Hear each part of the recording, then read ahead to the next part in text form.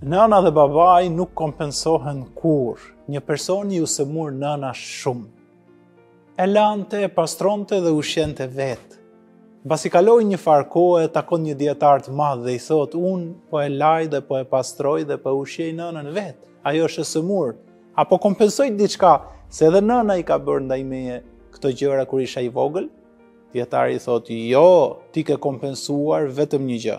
Në një natë të ftohtë është zgjuar nëna, ka ardhur tek ti, të ka gjetur zbuluar dhe të ka mbuluar. Kaq ke kompensuar se nëna dhe babai nuk kompensohen kurrë. Zoti i begatoftë ata.